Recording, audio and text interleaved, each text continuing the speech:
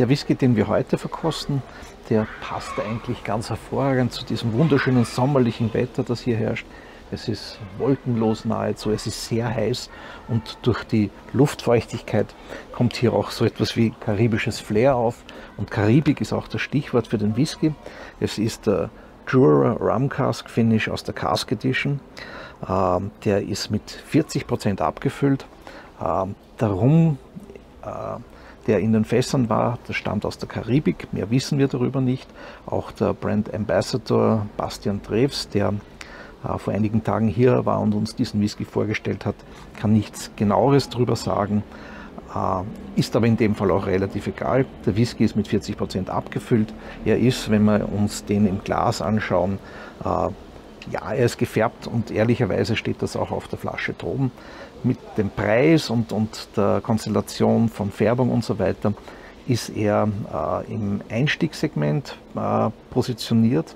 Das heißt, er ist kein Whisky für, für absolute Whisky-Freaks, sondern eher gedacht äh, für eine junge Zielgruppe, die eher vom ähm, Cocktail herkommt oder von Long Drinks oder von Spirited Drinks.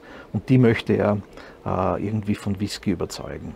Das kann er auch, weil er wie sehr viele dieser Whiskys in diesem Einsteigersegment extrem auf die Nase designt sind.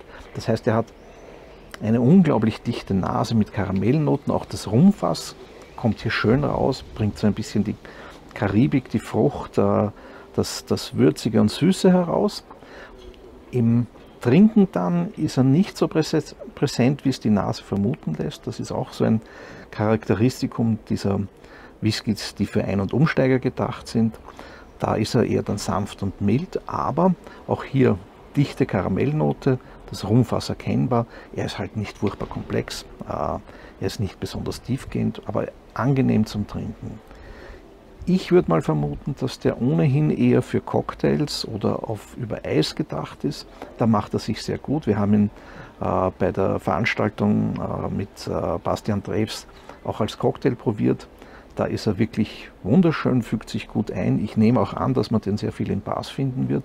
Wahrscheinlich mehr als in Privathaushalten. Aber wenn Sie einen Whisky suchen, der ganz unkompliziert sein soll, den man mal so nebenbei trinkt, mit dem man sich nicht tiefgehend beschäftigen muss. Man muss ja auch nicht immer die äh, tiefgehenden Bücher lesen. Manchmal hat man einfach auch Lust auf ganz normale Unterhaltung. Da ist er gut geeignet.